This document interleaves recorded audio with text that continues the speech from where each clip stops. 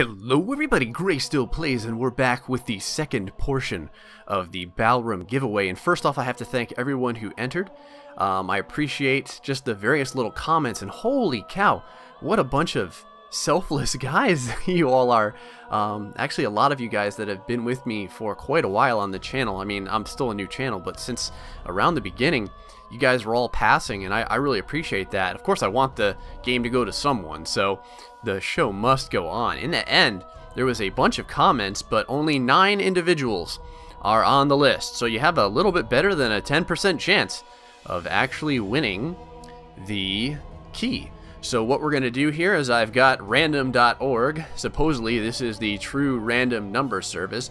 If we arrived at like an even number, like a 10 or something or an 8, I probably would have actually rolled an actual physical die and just videotaped that. But without any further ado, I will go ahead and see what we got here. So let's find out. We've got this list right here that we will be utilizing for whoever wins. These are the individuals that put in. We have David Sands, Sarah Nixon, Dai Takarai, Kovacs, Scotty Builds, YouTube, Shadow Crow, Mateo Costa, Mario the Lugia, and Pure Mix.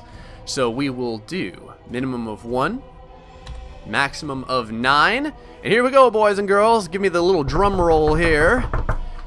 And generate. Five. Who is that? The lucky winner is Scotty Builds YouTube. Well, Scotty, you are going to be the new owner of a lovely Balrum key. So I will be contacting you to get that to you. Again, thanks everyone that uh, that gave it a go and left comments. And like I said, I'm not I'm not doing this for any real particular purpose. I just want to give something to you guys. I'm not like that's why I wasn't gonna force you guys to like have to retweet or do all this weird stuff or sign up for some sort of newsletter or something. You guys give me your your feedback and your comments and your time and you talk with me on, on like I said all these private messages and stuff like that and I just really appreciate appreciate that.